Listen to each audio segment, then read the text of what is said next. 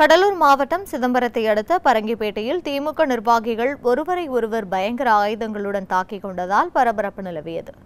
பரங்கிப்பேட்டை பகுதியைச் சேர்ந்த ராமர் திமுக ஒன்றிய பொறுப்பாளராக உள்ளார். அவரது உறவினரான பரந்தாமன் மார்க்சிஸ்ட் கம்யூனிஸ்ட் கட்சியில் ஒன்றிய பொருளாளராக உள்ளார். இந்நிலையில் பரந்தாமனின் தங்கை மகன் ஹரீஷ் வசந்த் ஆகியோருக்கும் பரங்கிப்பேட்டை பேரூராட்சி மன்ற தலைவியின் உறவினரும் திமுக நிர்வாகியுமான விக்னேஷ் என்பவருடன் தகராறு ஏற்பட்டுள்ளது. இதனை அறிந்த ராமர் மற்றும் பரந்தாமன் ஆகிய இருவரும் விக்னேஷ் காண்டிபனுக்கு வாக்குவாதத்தில் ஈடுபட்டு வீடு திரும்பியுள்ளனர். அப்போது ரவுடிகளுடன் சென்ற திமுக நிர்வாகி விக்னேஷ் ராமர் பரந்தாமன் மற்றும் அவர்களது உறவினர்களை அறிவால் உள்ளிட்ட பயங்கர ஆயுதங்களால் தாக்கியுள்ளார். இந்த தாக்குதல் தொடர்பாக இரு தரப்பினர் மீதும் வழக்கு பதிவு செய்த போலீசார் விசாரணை மேற்கொண்டு வருகின்றனர்.